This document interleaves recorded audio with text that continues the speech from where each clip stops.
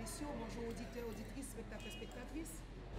Ces propos orduriers et grivois tenus à cette occasion sont indignes du président de la République et constituent le dérapage de trop.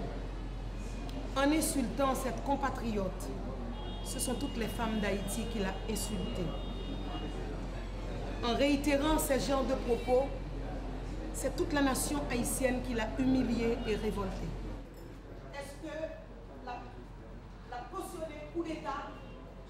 le Directoire national de la fusion réuni en session extraordinaire a décidé à l'unanimité de mettre un, terme à sa participation au gouvernement fonctionnant sous la présidence de M. Martelly et a demandé à ses ministres et secrétaires d'État de présenter immédiatement leur démission. Parce